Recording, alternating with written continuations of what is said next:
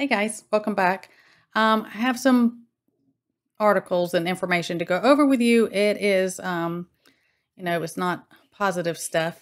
So I'm not doing any of this, like always, to, you know, invoke any fear or traumatize anyone or anything like that. I will always bring attention to, and this is in the, this is new stuff. I mean, this isn't, you know, down a rabbit hole somewhere where we haven't seen it, but they will present it and paint it the way they want it to look. And they use they use um, fear and i've gone over things before that i just recently said uh, when i talked about the one of 11 illnesses that you know bugman was afraid may come out. And i said are they going to do that? And say it's those to make a cover up for these type of things and what's happening. Okay? So keep all that in the back of your mind. But so there's things going on with infants and children. This one just, and yes, I'm angry about this because I just, this is so evil. I can't even. But it's a, um, it's called parvovirus, which there are a couple types of those, and I'll go through what you know this one is, and they are a type of um, enteroviruses, okay, which is related it's not related. It's it's close into how it affects and the type of symptoms of Rona. Okay.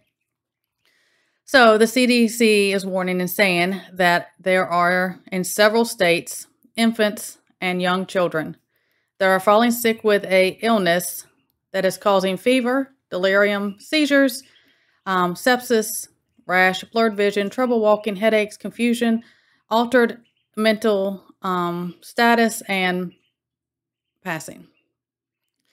So they are seeing this. This is their words, okay? They are seeing this deadly illness in age range six months to five years, around kindergarten and younger. Do you see the age range? What started in June for that? I don't know. Hear me out. So the youngest, there has been a young, one that was younger, which was three months. And I, I please show respect for that family because no matter, you know, I'm not going to go into the details of that, but you can search around. My thing is about any of them, whether the child herself had this or if the mother received this while carrying. Okay and there's a lot of dots that connect with all of that. And I said, well, they say, oh, we're seeing this said illness for cover up things. Okay. So, anyways, all of those kids that have been um, positive for this um, parvovirus, okay, they are seeing because they're doing more, you know, testing and stuff on them. Their spinal fluid and their blood draws from all the infected children is showing they have little, very low, or no infection fighting white blood cells. Now, let me explain something. Yes, children have fragile and immature immune system. That's why we're protective over, you know, babies. We don't expose them to heavy stuff because their immune system is we haven't been, you know, exposed to different things where they build up an immune system. That is not the same as they have no or very, very low white blood cells. That is not the same. So don't confuse that or, you know, think, oh, well, that's because they're babies. Yes, they, yes, babies have white blood cells. You're born with that.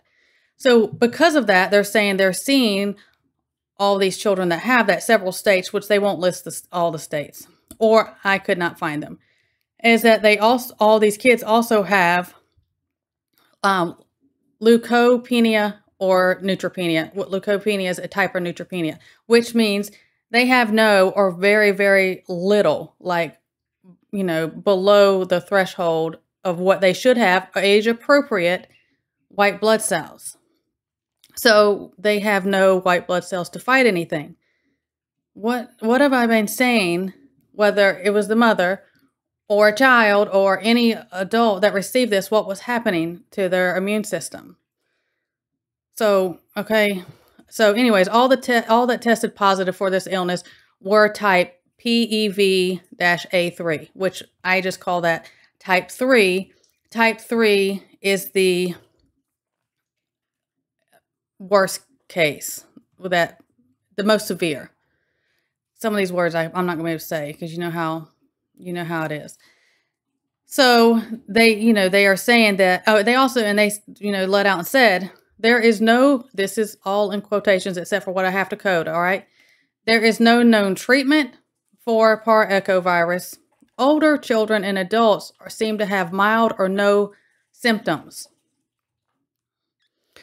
But the see, this is a quote. But the CDC message to the parents is don't panic. This is not a new virus, but usually very rare. We are we are seeing more than usual, but there is no treatment or jab for that illness.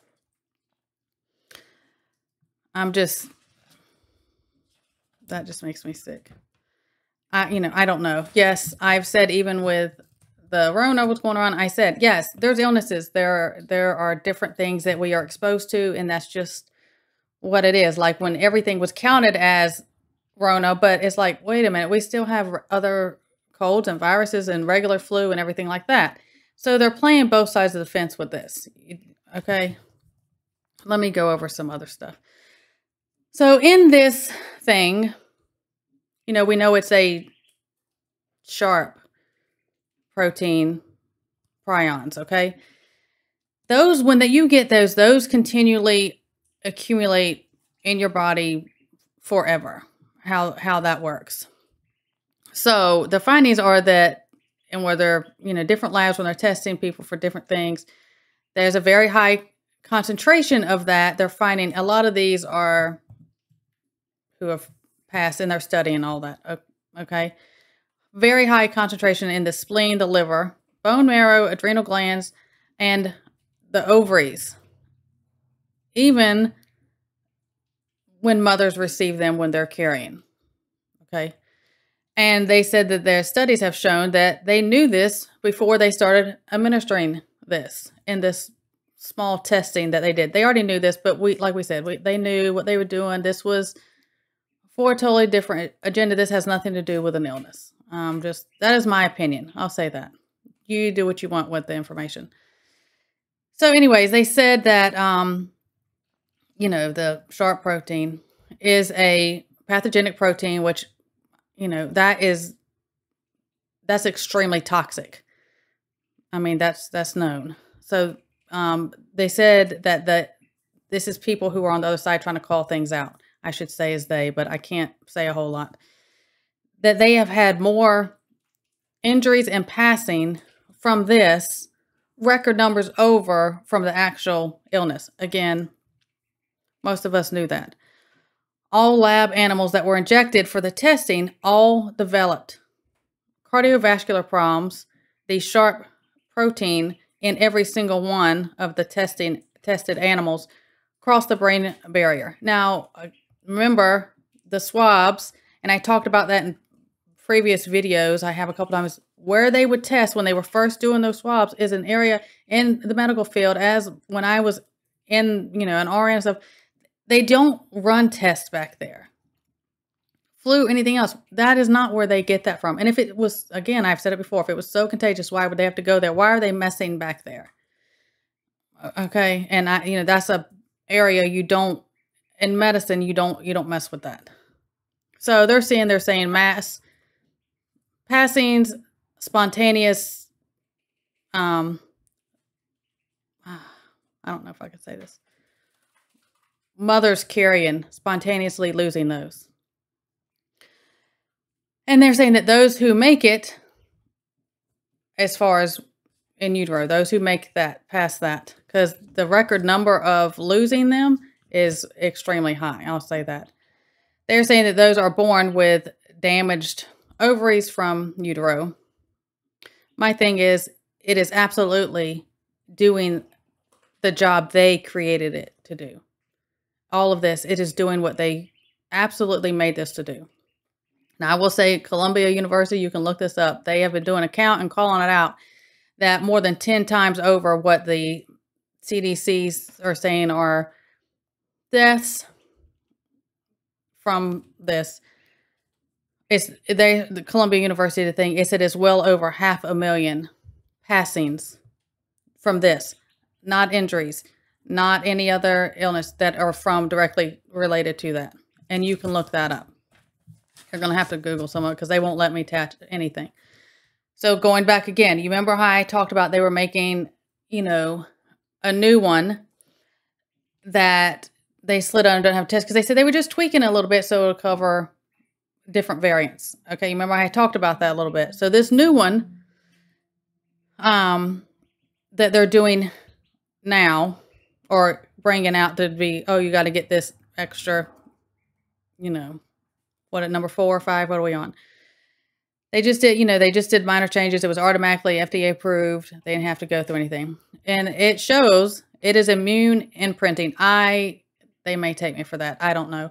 You know where to find them if they take these down, but do some research on what that is, okay? But this is something that occurs when exposed to certain proteins or other biological structures that penetrate host cells in us when you get them.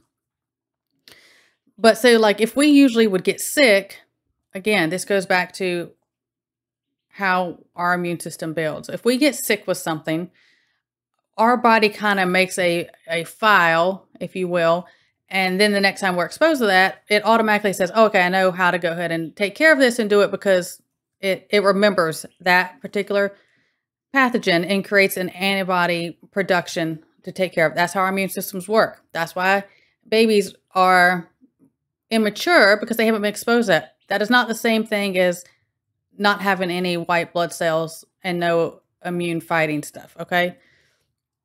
But um so they they're saying that people are more likely of course to pass from this than the actual illness itself. And I had said this. I had said this before and the reason is because no no immune system, no white blood cells. Your body doesn't know, hey, I need to send stuff. I talked a while before. I have to be very careful about this one. Um, there's a certain doctor that talks in depth about this, and it's a Y-shaped protein that was create that what it does is attack like if you get exposed to something your body's trying to send white um, blood cells that white protein job just is to go kill the white blood cells what is that AIDS on steroids. I've said that, and I've said that before. So, you know, they're just doing this big